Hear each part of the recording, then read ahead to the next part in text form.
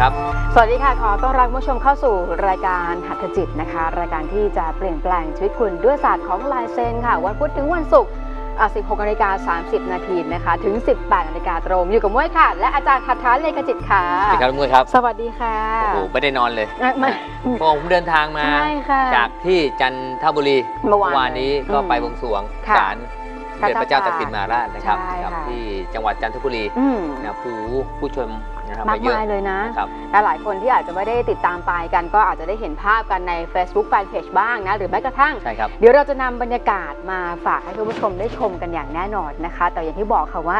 ครูหัตถานี่เดินทางตลอดนะเรื่องของทั้งงานบุญหรือแม้กระทั่งในเรื่องราวของการช่วยเหลือ โครงการดีๆ มิละคมหากุศลคืนชีวิต ก็ยังคงดำเนินการอย่างต่อเนื่องนะคะฉะนั้นใครที่เพิ่งจะรับชมรายการกาครรับเพิ่งจะเปิดมาเจอมาเจอกันก็ต้อนรับทุกๆท่านเข้าสู่ครอบครัวของหัตถจิตด้วยนะคะ ครอบครัวของ Miracle Channel แล้วก็ต้องบอกเลยว่า ใครอยากติดตามรายการสดๆ แบบนี้ท่านผู้ชม ติดตามได้เลยครับวันพุธถึงวันศุกร์นั่นเองนะคะ หรือว่าใครอยากไปติดตามกิจกรรมข่าวสารต่างๆนะของครัวท้าหรือว่าในช่องของ Miracle กดไลค์กดถูกใจได้ที่ Facebook Fanpage ของเรา Miracle Channel TV ก็จะมีกิจกรรมมีข่าวสารต่างๆ มาบอกกล่าวกัน แล้วก็บอกเลยค่ะว่า ถ้าอยู่กับครูต้นบุญ งานบุญนี่ไม่มีพลาดอย่างแน่นอน ไม่มีพลาดเลยครับ ค่ะ ข่าวดีนะฮะท่านผู้ชมนะฮะข้าวสารพรณฐาเอ้ากำลังจะได้รับรางวัลอีกแล้ว ค่ะหลังจากที่ครัวถานับปริญญาด็อกเตอร์ค่ะ นะก็ได้ละเออส่วนที่เป็นข้าวสารเนี่ยฮะคือเราเชื่อมั่นว่าเราทำมาจากคุณภาพดีๆ จากสองมือครัวถาค่ะ นะแล้วก็นำพาให้ท่านผู้ชมนะฮะไม่ว่าจะเป็นเรื่องของ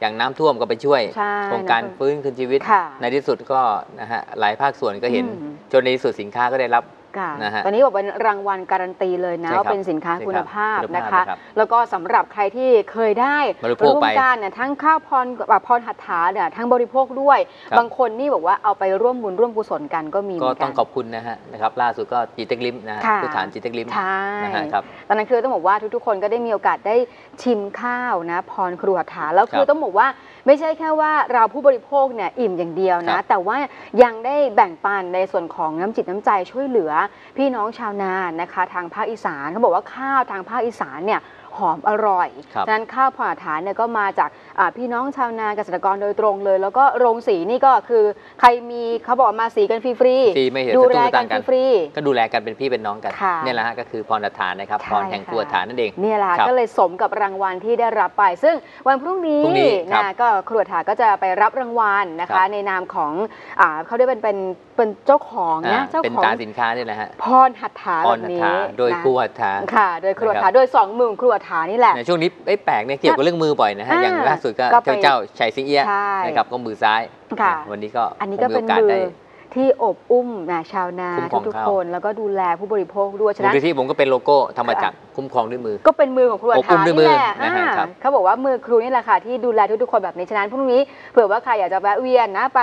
ให้กำลังใจหรือว่าจะส่งกำลังใจผ่านให้ครูถาก็ได้ด้วย หรือไม่ไปก็ไม่เป็นไรอยู่บ้านก็ได้นะครับแต่ว่าอย่าอย่าลืมนะฮะจ้ะติดตาม ว่าสินค้าดีอืมๆ ก็มีนะครับ ไม่ได้ว่าเอามานำเสนอเป็นสินค้าวางขายตามท้องตลาดทั่วไป ค่ะ ต้องเป็นข้าวที่ คนเขาว่าคนใจบุญจะได้ทานกันค่ะนะครับและคือคนใจบุญด้วยแล้วเราก็ได้ครับดูแลนะพี่น้องจริง ๆ คือพี่น้องชาวนาทางเกษตรกรตรงนี้เราต้องช่วยเหลือกันครับนะแล้วครูเองเนี่ยทางมูลที่เองก็เป็นสื่อกลางนะคะ ที่อย่างน้อยๆนะก็ได้ส่งต่อได้ส่งบุญให้กับทุกๆคนด้วยฉะนั้นต้องบอกปรบมือนะให้กับข้าวพรกุลฐานนั่นเองแล้วค่ะก็สามารถที่จะส่งกำลังใจกันได้เผื่อว่าใครใช่ครับที่อยากจะสอบถามว่าเอ๊ะจะไปหาที่ไหนยังไงก็กลิ้งกลางเข้ามาครับสอบถามกันก็แล้วกัน แต่ว่าวันนี้ พิเศษเลย พิเศษอีกแล้ว พิเศษมากทำไมมีพิเศษทุกวันเลยมวยเนี่ยอาจารย์ทุก็กวันว่าทุกวันนี่คือวันพิเศษแล้ว เอาครับมีอะไรอ่านำเสนอท่านผู้ชมก่อนวัให้เป็ทราบนกันวันศุกร์ใช่ไหมครัคะ วันศุกร์สัปดาห์กลางเดือนแบบนี้หลายอืมคนอยากจะวางแผนครับเขาบอกว่าพอกำลังจะก้าวเข้าสู่ปีปีหน้าหรือว่าใช้ไลฟ์ประเดิมชีวิตก้าวเข้าสู่ศักราชใหม่อ่านะนอกจากเรื่องราวของอาจจะเป็นดวงชะตาครับวางแผนตัวเองแล้วเนี่ยสิ่งสำคัญที่แบบทุกคนจะถามเสมอเลย ปีชง อืม ปีหน้าเป็นปีอะไรแล้วชงยังไงเกิดอะไรขึ้นบ้างเนี่ยอย่างปีหน้าก็เป็นปีนักกษัตริย์เป็นปีระกา ใช่ครับ นะเป็นปีไก่นั่นเองนะคะ ซึ่งถ้าเกิดว่าตามหลักจริงๆ ถ้าชงนี่คือต้องมี ดื่มชงตัวเองใช่ไหมเอาครับ ดื่มเข้มข้น เข้มข้นครับ ก็คือเขาบอกว่ารากาเนี่ยชงกับอ่ารากาเองครับรากาจะชงกับเถาะด้วยแล้วเรื่องนนี้เยอะ ปะทะตรงๆจุกจิกอ่า นะฮะใครที่เกิดอาการที่เรียกว่าความจุกจิกเยอะค่ะตั้งแต่คำพูดการเจรจาการตัดสินใจรวมทั้งเรื่องเสียงดวง โอ้เคยได้อยู่เป็นก้อนเป็นกำแต่สุดท้ายติดลบครับ ค่ะเนี่ยมีอ้าวในการที่ว่าเอ๊ะชงยังไงค่ะแล้วแก้ไขยังไงนะครับ อืมซึ่งผมเองก็ไม่เคยได้บอกได้กล่าว ตั้งแต่ คือไม่ได้บอกที่ไหนนะฮะไม่ได้เอ่ยที่ใดก็ตามว่าค่ะเอ๊ะชงเนี่ยนะจะเป็นนักนาเอ่อลัคนาราศีวันเดือนปีเกิดต่างๆนะครับอืม ก็จะไม่ได้นำมาค่ะ นะฮะเพราะว่าเฉพาะจริงๆนะครับว่าให้แฟนรายการอยู่ตรงนี้เท่านั้น อืมเมื่อวานนี้ไปที่จันทบุรีค่ะบางท่านมารับลายเซ็นลงกระเป๋าสตางค์ปุ๊บนะฮะอืม ก็ถามเรื่องดวง อ๋อผมก็บอกว่ามีหนทางเดียวช่องทางเดียว ค่ะ หน้าจอสี่เหลี่ยม กับครอบครัวมิลเลอร์เคิลกับรายการอาจิต ใช่ต้องกิงกลางแล้วก็โทรแล้วก็ลงทะเบียนกันนิดนึง ค่ะ จะได้เป็นผู้โชคดีทางบ้าน อืมอย่างที่ต้องส่งมาเนี่ยนะฮะคุณสมแล้วเนี่ยค่ะอ่าคุณสมสวนศรีสุวรรณก็อาจจะเป็นผู้โชคดีอืม ที่รับสิ่งดีๆกลับไปใช่ไม่ว่าโฟนอินก็ดีอ่านะหรือติดตามนานๆเนี่ยอ่านหนังสือลายเซ็นก็มามอบให้แล้วก็ของที่มอบให้มันเป็นของฝันปีใหม่ ใช่อยากคิดว่าค่ะเป็นข้อแลกเปลี่ยนไม่มี อืม เพราะเราเองนะไม่ได้มี ค่างวดอะไรในการที่ว่าเอาของมาให้แล้วไปแลกเปลี่ยนค่ะนะคุณค่าของ s อ s มันมากมายมากกว่านั้นอืมก็เลยเป็นสินกำนันค่ะใจจากครูเขาคาเรียกถาว่านั่นเองคมรับอบให้จากใจของครูแล้วนะเป็นแบบอย่างพูดถ้าถ้าพูดถึงวันนี้ก่อนเลยอืมก่อนที่จะไปฟังเรื่องราวของอาปีนักกษัตริย์ทั้ครังบหมด 12 ปีนะว่าปีหน้าฟ้าใหม่เขาจะมีอะไรเกิดขึ้นบ้างแล้วใครกังวลเรื่องราวของการประทะการชงจะเป็นอย่างไรวันนี้ คุณผู้ชมสามารถส่ง SMS นะคะเข้ามาให้อาจารย์ได้วิเคราะห์เรื่องราว รวมไปถึงออกแบบลายเซ็นกันได้ที่เห็นตรงหน้าแบบนี้เลยนะคะ ก็สามารถที่จะส่ง SMS เข้ามาสดๆเลยพิมพ์ HJ ตามด้วยชื่อนามสกุลนะคะรวมไปถึงข้อความแล้วก็จังหวัดส่งมาที่ 422 1606 วันนี้นะคะ วันนี้ต้องบอกว่า 5 ท่านผู้โชคดีเลย จะมีโอกาสได้รับหยก แปดเหลี่ยมเนี่ยฮะโอ้ถ้าครับพูดถึงปีนักกษัตริย์เราก็จะนึกถึงชาวจีนที่ครับ เขานับถือกัน ฉะนั้นตรงนี้แหละนะก็จะสามารถได้มีโอกาสได้รับกันไปนะคะห้าท่านเท่านั้นก็ต้องรีบส่ง SMS เข้ามาร่วมลุ้นกันนับตั้งแต่ตอนนี้เลย เป็นความสมบูรณ์ในธาตุทั้งสี่นะดินอืมน้ำลมไฟนะครับนะจค่ะริงๆมันสองธาตุนะแต่ผมเพิ่มไปทั้งสี่ธาตุนะครับ แล้วก็วันนี้อาจจะเป็นธาตุทองด้วยอืม นะหลังจากเรื่องราวดี ต้องถือว่านะฮะไม่ได้ เขาว่าไม่ได้เตรียมก่อนค่ะเขาว่าเตรียมคือเตรียมคือมีบทมาแล้วให้อ่านตามบทนะฮะในกระดานผมจะเป็นกระดานขาวๆท่านผู้ชมไม่มีตำรับตำราเลยทั้งนั้นนะฮะเนี่ยฮะแล้วอันก็นี้ก็เมื่อกี้เพิ่งเขียนมันเป็นอย่างนั้นจริงๆที่ท่านผู้ชมอ่เอ๊ะของผมไปเขียนอะไรโพยไว้ไม่มีให้เห็นเลยจัดรายการมา 20กว่าปีหรือเปล่าก็ไม่ทราบเออก็ไม่ถึงแต่ไม่มีหกปีแต่ไม่มีอ่าจริงๆนะหฮะกอปียู่ที่ไหนก็ตามนี่ฮะจะเป็นกระดาษเปล่าใช่ค่ะแล้วก็ที่เขียนมาสักครู่เนี่ยถามว่าเอ๊ะมาช็อตโน้ตหรืออะไรก็จะเขียนหัวข้อให้น้องมุ้ยอ่านว่าไอ้การงานอ่าเป็นไงการเงินคล่องตัวหรือเปล่า แต่ละลัคนาราศีค่ะนะครับ ก็คือต้องบอกว่าจะได้รู้กันเลยว่า ปีนักกษัตริย์แต่ละปีที่เกิดขึ้นอ่าปีนักกษัตริย์เนี่ยมันเป็นคำถามที่หลายปีนักกคษัตนริย์สวันนนี้ใจมาก ทั้งใช่งานทั้งเงินทั้งความรักสุขภาพครับการทำบุญ ซึ่งต้องบอกว่าอยากจะทั้งรู้หมด 5 เรื่องนี้นี่แหละเป็นหัวข้อหลักๆ เวลาส่ง SMS เข้ามาโฟสต็อปเซอร์วิสโอ้โหที่นี่ทีเดียวเลยต้องสี่อย่างด้วยกัน เท่านั้น จะได้ครบสูตรนะฮะ ใช่ค่ะ ด้วยมือครวดหาฉะนั้นเรามาเริ่มดีกว่านะฮะแต่ที่เมื่อบอกว่าปีหน้าเนี่ยปีครับ2560 ใช่ไหมคะ ก็เป็นปีนักกษัตริย์คือปีรากา ฉะนั้นปีรากาเขาบอกว่าเหมือนปีรากาจะต้องปะทะหรือว่าชงกันกับปีเถาะกระต่ายกับไก่ชงกันร้อยเปอร์เซ็นต์ครับเขาจะมีปัญหาอะไรยังไงบ้างเรื่องของงานเรื่องเงินความรักสุขภาพคะเอาอย่างนี้ก่อนนะฮะอ่าเริ่มต้นเลยนะฮะเอาปีอะไรก่อนอะงั้นหนูไล่ดีกว่าโอเคอะงั้นไล่ตั้งแต่ปีปีถ้าถึงปีชงนึกว่าบอกด้วยอะงั้นปีชวดปีแรกอ่าเลยปีชวดท่านใดปีชวดยกมือขึ้น ปีชวดรอบปีนี้นะมีความเด่นชัดเรื่องอะไรไหมฮะ เรื่องของความรักเล็กๆ ที่ปรากฏเป็นครอบครัวอ่าใครที่เขาว่าเกิดปีชวดเนี่ยใครที่กำลังจะสละโสดอยู่ รับรองปิ๊งกันเจอกันจะเจอกันนะฮะความรักเด่นที่สุดนะอืมรอบปีมีฉลอง ฉะนั้นดูเลยว่าคนที่เกิดปีชวดเนี่ยมกรากุมภาต้นปีก่อนถึงเมษามีการแต่งงานกันแน่ค่ะและที่สำคัญนะครับ ปีช่วยจะบอกว่าเป็นบ่อเกิดในเรื่องราวของคนรักที่รักกันแล้วก็จะมีบุตรในช่วงต้นปีโอ้นะ ใครที่เกิดปีชวดก็จะได้ลูกนะฮะค่ะก็จะได้ลูกเด็กที่เข้ามาเรื่องของสติปัญญา เป็นคนที่ไหวพริบเก่ง อืมแล้วเป็นคนกล้าแกร่งค่ะแล้วได้ลูกผู้ชายครับ อ้าวปีชวดได้ลูกผู้ชาย ค่ะ ประมาณ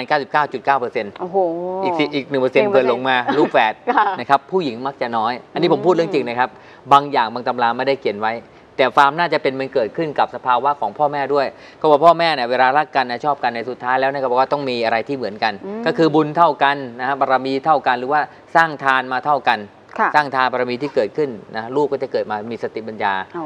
แต่มีข้อแม้ว่าการงานการงานของปีชวดน้องมวยพอจำได้นะ นั่นได้อยู่ค่ะหนูจำได้เลยว่าความรักเขามีแต่งงานกันแน่นอน เออโอเคเดี๋ยวเรื่องความรักจะแต่งเขาเขาเหมือนกันเอออ๋อปีชวดเขามีค่ะ ไอปีอื่นอย่าเพิ่งไปอิจฉาเขาแล้วกัน แล้วส่วนที่สำคัญอีกอย่างหนึ่งนะฮะเอามาเน้นแต่ละข้ออมการงานช่วงนี้ขาขึ้น หลังจากที่ได้รับโบนัสมาแล้วสมมติว่าพนักงานเอกชนค่ะนะฮะลูกจ้างเอกชนอ่านะฮะกำลังจะได้ข่าวดี พนักงานราชการนี่ครับเขาบอกว่าสอบเลื่อมขั้นเลื่อนตำแหน่งก็ได้ข่าวดีอ๋อดีช่วงไหน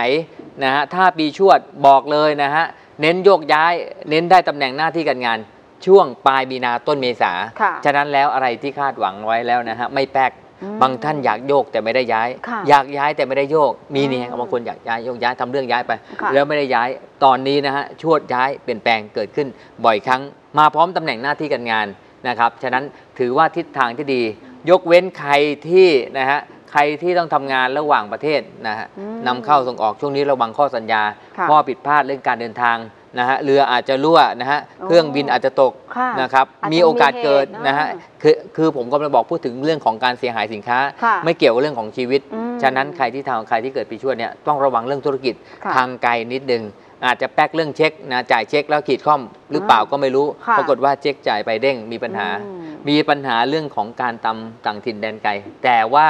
ก็ยังดีนะฮะเป็นช่วงระยะเวลาสั้นๆ ฉะนั้นแล้วอ่าประมาณมีนานะครับมีนาเมษาเป็นช่วงขาลงเรื่องการงานนิดหนึ่งกับเรื่องก่อนเงินเนี่ยนะค่ะฮะกับคนที่ทำธุรกิจต่างถิ่นอืมท่านไทยทำเมืองไทยเจริญรุ่งเรืองค่ะนะก็ลงทุนในไทยเยอะใช่ๆดีที่สุดใช่ถ้าเกิดนะครัว่าบลงทุนต่างชาติหรือ import export เข้ามาก็ต้องระมัดระวังด้วย เมื่อกี้พูดเรื่องงานไปแล้วเรื่องงานเรื่องเรื่องเงินล่ะคะ เรื่องเงินรั่วนิดเดียวรั่วที่เด่นที่ชัด แล้วก็รั่วเรื่องการงานเลือกประสานเรื่องคนรัก คือพูดง่ายว่าบางครั้งเนี่ยจะถูกคนรักใกล้ชิดมิตรรู้ใจหักคอหักลำเรืออมตั้งแต่ช่วงมกราถึงช่วงมิถุนาค่ะหกเดือนเต็มเต็มๆอืมน้องมวยเชื่อไหมครับว่า คนที่ลงทุนธุรกิจเป็นพี่เป็นน้องกันหักกันนะฮะอืมหักลำเรือกันเป็นคดีฟาร์มเป็นหน้าข่าวที่สุดก็ค่ะคือคนปีชวดอ๋อ เพราะเหตุจากพี่จากน้องกับคนรักเนี่ยฮะหักมุมหักเหลี่ยมกันอืมอันนี้แหละค่ะนะครับนำเสนอท่านผู้ชมนะฮะจะได้รับทราบรับใช้แล้วก็พยายามระมัดระวังเป็นพิเศษค่ะความรักบอกไปแล้วอะสุขภาพล่ะคะสุขภาพต้องระไหมวังคนิดเดียวเนื้องอกซีดก้อนเนื้อเกิดขึ้นช่วงที่เป็นหน้าอกถ้าเป็นผู้หญิงสตรีเพศอืมผู้ชายมักจะมีปัญหากล้ามเนื้อหัวใจครับค่ะใครที่เกิดชวดเนี่ยต้องระวังการ เรื่องราวของการดูแลสุขภาพนะฮะแล้วสังเกตไหมฮะน้ำหนักจะเยอะเป็นพิเศษค่ะรอบปีนี้ขนาดนะ safe นะ safety ในเรื่องของการเขาเรียกว่าออกกำลังกายรับประทานอาหารแล้วแล้วก็ยังมีปัญหาอีกนะฮะค่ะ ยังมีโอกาสที่รั่วซึมในเรื่องของอาหารการกินไอ้บทนี้ก็คือสำคัญว่าถ้าเป็นไปได้นะมันเจริญสมาธิกรรมฐาน อืมแล้วประสานคนรักพากันไปออกกำลังกายลดพุงค่ะ นะฮะเดี๋ยวนี้เขาลดลงเขานะฮะอ่า แฝงมือยกพุงเนี่ยเอาทำไปซะ ค่ะ จะมาจากมือยกพุงก็ไม่ใช่เดี๋ยวประคองเขาลดมีลดนิดนึงลดน้อยไม่ให้เต้นหน่อยครับอะไรอย่างเงี้ยออกกำลังกายการอะเรื่องของสุขภาพอ่าแล้วนี่หลักการทำบุญล่ะคะทำบุญผมอยากให้คนที่ปีชวดเนี่ยทำบุญสร้างกุศลเน้นหนักนะครับ เรื่องของการเปลี่ยนประทีปโคมไฟ ให้กับโบสถ์วิหาร วัดวาอารามต่างๆ ก็ดีนะครับ เพื่อจะให้นะเพื่อจะให้อะไรน้องเว้ยเพื่อจะให้ทุกอย่างทุกสิ่งนะที่เป็นปมเป็นหาในช่วงเนี้ยมีความสว่างไสวัยไม่หน้าหน้าที่การงานการเงินและความรัก นะครับจะได้มีโอกาสที่ผ่านพ้นไปได้ในดีที่สุดนะครับ นี่แหละค่ะต้องบอกว่าสำหรับใครที่เกิดอืมปีชวดนะในช่วงของปีหน้านะคะต้องบอกว่าจริง ๆ แล้วปีชวดเนี่ยเป็นเป็นอันดับ 3 เลยนะอ่าเขาบอกว่ามันจะมีชง 100% 75%อันนี้เนี่ยอัอานจนี้จะกี่ประเปอร์เซ็มานณต์สัก 50%ทั่วๆไปเขาว่ากันอย่างเฉนั้นลี่ยเฉลี่ยกันไปใช่อันนี้เราเอาทั่วๆใจไปมาอืมนะให้เป็นเขาเรียกว่าอย่างน้อยก็เป็นเขาเรียกอะไรค่ะเป็นแนวทางเป็นแนวทางหอยแต่เป็นการวางแผนมันมีเลขด้วยนะฮะ ถ้าปีชวดจะออกรถออกลาจะค่ะทำอะไรเอ๊ะครัวถานะฮะ ฉันเคยรู้ดูแต่เรื่องราวเรื่องลายเซ็นตัวอักษร แล้วอาจารย์จะรู้ไหมว่าปีเนี้ยปีชวดเนี่ยออกรถอะไรอ้าวเลขอะไรดี ค่ะ จะได้วันนี้เท่าไหร่ว่า16เนี่ยแหละ เรียบร้อยไปแล้วค่ะไม่ทันแล้วนะครับ เอาต้นปีหน้านะฮะค่ะต้นปีหน้าเริ่มต้น แนะนำนะครับหนึ่งค่ะ สาม อ่า เลขที่ออกค่ะ สามหนึ่ง สำหรับคนครัเกิบดปีชวดจะจดกันย้ายไม่ทันแล้วไม่ถ้าทันจดกี่หน้ามันก็วันที่16 ไปแล้ว รอบนี้ไม่ทันแล้ว เป็นลัคกี้นัมเบอร์เป็นโบโทรที่รู้ใจนะฮะ อืมเป็นสิ่งที่สามารถจะเกื้อกูลทำสิ่งต่างก็จะได้มีความเหมาะสมและคล่องตัวเป็นพิเศษ ค่ะ 1 3 นะครับ ให้อยู่ในเลขบ้าน อ่าทะเบียนรถยนต์เบอร์โทรศัพท์ บัตรประชาชนเป็นไปไม่ได้หรอกค่ะนะฮะนั่นแหละฮะอันนี้ก็ไปเป็นใช้บ่อยลัคกี้นัมไปเบอใช้ร์สำหบ่รัอยบปีชวดนั่นปีเอชวดงนั่นแหละนะฮะคะเอาต่อมาดีกว่าๆก้าววิ่งหนีเลยต่อมา ปีฉลู ปีฉลูคือวัววัวค่ะปีฉลูวัวนี่เขาบอกว่าวัวใจบุญ ใจบุญสุนทานตั้งแต่ต้นต้นๆปีฉะนั้นในในส่วนที่เขาบอกว่าเอาเน้นเรื่องบุญก่อนนะค่ะกลับมาเรื่องบุญก่อน เด่นชัดที่สุดเรื่องทำบุญ เชื่อไหมครับว่า อยู่เฉยๆก็ได้บวช อืมอยู่เฉยๆก็คิดอยากจะบวชขึ้นมาค่ะอยู่เฉยๆฉันพอเข้าหนึ่งมกราเป็นต้นไปนะฮะใครใครที่เกเรใครใครที่ลูกดื้ออมหรือผู้ชายที่ไม่เคยบวชหรือหญิงที่คลองโสดมาค่ะแล้วไม่เคยเข้าสู่ในเรื่องราวของการปฏิบัติถือศีลแปดแนะนำหรือเป็นเองเป็นโดยอัตโนมัติอ๋อก็มันมีแรงนะครับมันมีแรงชักจูงนำพานะฮะฉะนั้นเนี่ยช่วงเนี้ยนะฮะขาขึ้นปีฉลูคือทำบุญเยอะเรื่องพิธีกรรมมากนะฮะบางทีไปเจอผมเรื่องงานบวงสรวงมักจะเจอคน ปีปีฉฉลูลูมายืนข้างหน้าข้างตาเยอะแยะเลยค่ะนะครับาปีอะไรเนี่ยปีกูลเออชงกันเป็อย่างนั้นหไม่ค่อยไปเออนะไปบ่อยไปบ่อยนะปีอื่นก็ไปได้ค่ะแต่บอกว่าจะเยอะฝ่าเป็นพิเศษอ่าเยอะเรื่องบุญแล้วก็มักจะเดินทางค่ะอะบางทีไปนะอ่าไปกราบสิ่งศักดิ์สิทธิ์นะฮะต่างประต่างประเทศ อินเดียศรีลังกาอะไรเนี้ยอืมไปเรื่อยแล้วก็บางท่านเนี่ยที่มีโครงการจะไปไหว้พระธาตุประจำปีอ๋อนะต่างถิ่นแดนไกล หรือเดินทางอ่าไปทำบุญสร้างกุศลที่ไหนก็ตามนะส่วนใหญ่ทั้งทั้งที่จะไปเที่ยวกับว่าไปเจอไปทำบุญเจอแทนนักพจน์ผู้อ๋อปฏิบัติธรรมค่ะแล้วที่สำคัญว่างานช่วงนี้ก็กลายว่าได้เปลี่ยนผู้ใหญ่ครับกำนันก็คงจะต้องเปลี่ยนในตอนนี้ด้วยค่ะหกสิบก่อนพี่เนาะนะเออนะฮะอ่าจะมีโอกาสเปลี่ยนผู้บริหารนะฮะผู้จัดการผู้อำนวยการหรือแม้แต่ ขณะคุยกันดีๆเนี่ยโอ้โหนะผู้บริหารเกิดโยกย้ายเปลี่ยนแปลงกระทันหันอ๋อจะเป็นเหตุอย่างนั้นเลยค่ะนะฉะนั้นแล้วนะฮะเรื่องงานนะครับสำคัญผู้ใหญ่เปลี่ยนบ่อย อืมบางตำราไม่มีเขียนนะ ค่ะมีไหม อันเนี้ยสดๆเลยสดๆเลยจากมิลเลอร์เคิลใช่อย่างเดียวนะครับ รีบบอกเพื่อนในกฎมา ใช่ต้องบอกเนี่ยตอนเนี้ยแล้วไม่ทำหนังสือขายรับไม่มีใครซื้อนะครับเพราะมันเป็นสดๆไง เราไม่ให้พิมพ์ไม่ทันพิมพ์ไม่ทัน อ่า ผมให้สดๆเพราะว่าใช้สภาวะกรรมฐานสมาธินะฮะ อันนี้เรื่องจริงเลยนะครับ ต่อหน้าจอสี่เหลี่ยมเลย ใช่ค่ะครับ อันนี้เนี่ยล่าสุดเดี๋ยวมาส่งมาบอกชว่า งเข้มทั้งสองคนเลยครับครูอ๋อเข้มของข้นขาก็เป็นปีดื่มเถาะซะนะวานนี้เพิ่งกลับมาจันทบุรี ใช่ กลับไปหลับไปกุมารทองกลับเองพี่โยกชัยก็ไปด้วย ค่ะ แฟนรายการมันไปเยอะรู้จักกันเนี่ยไปสองคนเอง เอ้าอุ๊ยบางคนติดภารกิจแต่ว่าบอกอ๋อว่าในหน้า อยู่ที่บ้าน Facebook เต็มมีหน้าเยแล้วไม่มีใครไปเลย มีท่านผู้ชมโอ้โหเมื่อวานนี้สี่ห้าพันคนเยอะมาก เยอะมาก ชาวจันทบุรีเนี่ยดูรายการเราเยอะมากค่ะนะฮะเจอหน้าปุ๊บอาจารย์ขอลายเซ็นนะอ่านะครับเอาแบบลายเซ็นด้วยแน่เลยนอนย่างนี้ครับอะเมื่อสักครู่ปีฉลูเรื่องงานผ่านไปแล้วเรื่องน่ะเงินเขาจะเป็นยังไงคะเรื่องเงินถามว่าเป็นปัญหาเป็นปัจจัยหลักเยอะเลยแหละฮะอืมเพราะว่าเหมือนจะต้องติดลบตั้งแต่ต้นต้นๆเดือนกุมภาพันธ์ ฉะนั้นมกราไม่เท่าไหร่นะฮะ คุณควรจะต้องวางแผนให้ดีๆเลย เพราะค่ะเม็ดเงินนี้กระจัดกระจายเยอะ แล้วหนี่เน่าของเสียนะท่านใดที่ปล่อยธุรกิจไปแล้ว เป็นเช็คค้างนะครับอ๋อสินเชื่อที่ปล่อยไปแล้วนะฮะรับรองติดลบค่ะนะฮะจะมีโอกาสติดลบสูง บางท่านที่คิดว่าจะแปลสภาพจะเสี่ยงดวงขึ้นมาเรื่องของหุ้นฮะหุ้น หุ้นอะไรต่างๆเนี่ยค่ะนะครับก็มองทิศทางนะฮะหุ้นธาตุไฟนิดหนึ่งอืมน้ำมันเชื้อเพลิงดีค่ะนะฮะผมไม่ได้เชียร์นะ นะครับแต่เขาก็แต่ว่าปกติเขาก็เหมาะก็เหมาะกับเขานะฮะอืมหรือทำกิจการมาใดๆนะที่เกี่ยวเรื่องของขนส่งการเดินทางค่ะใครที่เกิดนะฮะใครที่เกิดปีฉลูนี่เหมาะสมมากอืมเรื่องการเดินทางจัดรถทัวร์ค่ะนะฮะจัดกิจกรรม หรือแม้แต่ตั๋วเครื่องบินอ๋อนะใครที่เป็นตัวแทนอสังหาก็โอเคค่ะอสังหาริมทรัพย์นี่นี่ว่าโดดเด่นมากเลยนะปีฉลูขายที่ได้อืมตั้งแต่ต้นต้นๆปีด้วยซ้ำไป เว้นอย่างเดียวน้องมวยค่ะสุขภาพปรมัยสิอืม นะฮะสุขภาพปรมัยที่ผมน่าเป็นห่วงอย่างยิ่งว่าบางครั้งบางคราวเนี่ยในสภาวะที่ฉลูนี่ลุยมาเยอะค่ะผ่านงานมันก็มากไม่ค่อยรักตัวเองอืมใครที่ไม่เคยตรวจเช็คประจำปีประจำหกเดือนเนี่ยต้องไปตรวจเช็คค่ะโดยเฉพาะระบบฟัน ฟันคุดฟันอุดแมงกัด มันก็อ๋อไม่มีแมลงหรอกแต่จริงๆว่าเป็นการสะสมนะฮะอ๋อที่ของเก่าของเดิมนะฮะดีไม่ดีทานข้าวอาหารปุ๊บเดียวแป๊กเดียวอุ้ยหักเลยปวดเจ็บฟันอ๋อบ่อยมากค่ะนะฮะอืมโอ้ยปวดฟันนะครับจะค่ะแต่งงานมันจะหายไหมเน้อโอ้ยเคยฟังไหมเคยฟังไหม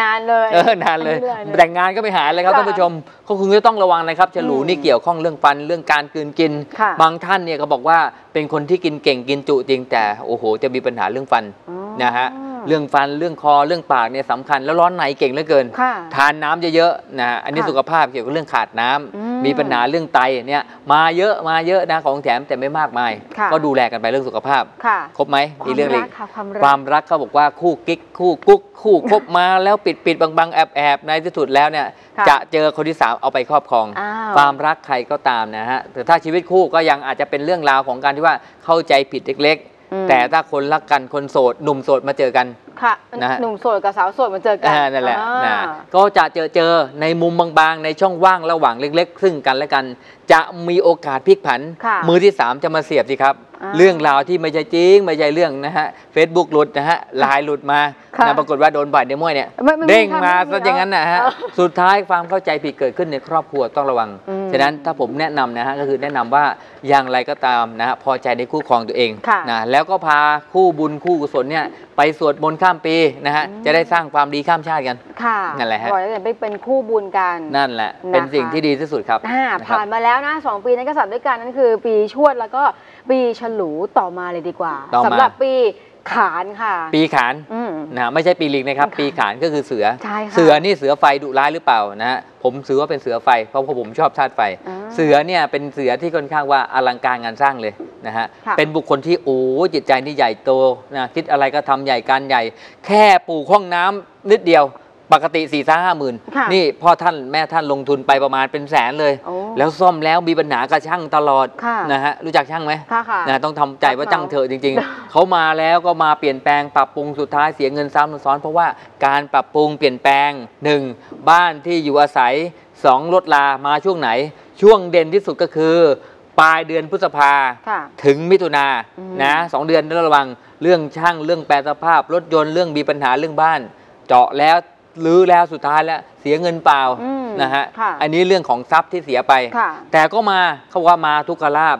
ต้นปีนะฮะต้นปีก่อนเมษาก็คือผมนับตั้งแต่มีนา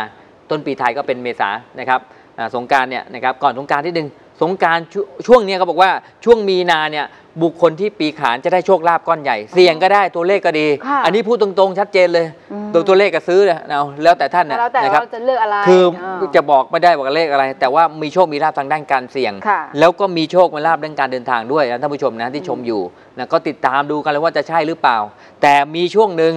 มีช่วงหนึ่งน้องง่วยใช่ไหมฮะในช่วงตุลาคมเขาบอกว่าทั้งทั้งที่สุขภาพฉันแข็งแรง ไม่เคยป่วยป่วยเจ็บซักอย่างไม่ต้องถามทักโรคหนึ่งค่ะแต่สุดท้ายแล้วเนี่ยตัวเองต้องทำประกันชีวิตครับอ้าวบริษัทใดทำไปเลยนะฮะค่ะมีโอกาสได้ใช้ได้เคลมแน่อ้าวเดือนตุลานะฮะโอกาสการผ่าการเจาะเยอะจริง ๆไม่เคยขับรถเหวียงไปนะสวัสดเสวียงมาสุดท้ายแล้วต้องเคลมเพราะการป่วยเจ็บอ๋อขนาดลื่นตกหกล้มเป็นแผลค่ะนะกระดูกกระเดิกเนี่ยนะฮะมีปัญหาแน่ๆฉะนั้นได้เคลมแน่อืมก็ทำประกันซะก่อนท่านผู้ชมนะฮะค่ะจะได้ไม่เสียล่วงหน้าโอ้จะได้เตยประมาณกันยาตุลาทำประกันเพิ่มเลยอ่านั่นแหละ ทุกเผื่อบริษัทดีหมดค่ะครับเผื่อว่าใครยังไม่แบบไม่ไม่มีไงจะได้แบบนะดูแลตัวเองเป็นการสุขนะครับภาพไปด้วยค่าคอมมิชชั่นก็60นะฮะบริษัทนะครับประกันภัยไม่เกี่ยวกับผมนะท่านผู้ชมทำซะจ้ะเพื่อไม่ประมาทการทำประกันนี่ทำให้รู้สึกว่าอ่าตัวเองเนี่ยอย่าไปคิดว่าไปแช่งตัวเองอืมนะมันมีผลดีกับชีวิตด้วยนะครับค่ะต้องระวังอ่าแล้วบางท่านเนี่ยนะฮะเอาไปเรื่องรถลาด้วยค่ะรถลานะฮะมักจะลืมต่อทะเบียนอ่าต่อประกันรถยนต์ค่ะเออก็เหมือนกันน้องมวยค่ะมันเหตุเดียวกันเลย มันต้องคอยดูแลนะฮะอืม จะได้เคลมนะครับ ฉะนั้นก็ต้องระมัดระวังด้วยแล้วแล้วก็แล้วความรักของชาว อ่าปีนักกษัตริย์ขานล่ะคะ ปีขานนี่ก็ว่าเนื้อคู่มักอยู่ต่างแดนต่างถิ่น อืม ได้คนนะฮะต่างแดนก็คืออาจจะเป็นเนื้อคู่คนต่างชาติหนึ่งนะใครที่นะครอบครองนะชีวิตนะถนอมเนื้อถนอมตัวรอคอยต่างชาติเอาค่ะนี่แหละมีโอกาสชอบไม่ใช่แล้วนะมั่วเนี่ยเออ หลายคนหลายคนไม่มี เอาไม่มีเลย เรารู้ว่าชอบเจ้าท่านไม่มีอ่าคนไทยนี่ก็น่ารักที่สุดแหละนะครับค่ะ แต่คนต่างชาติก็ว่านไปละนะฮะก็คือดูแลนะฮะเอ่อมีโอกาสที่จะ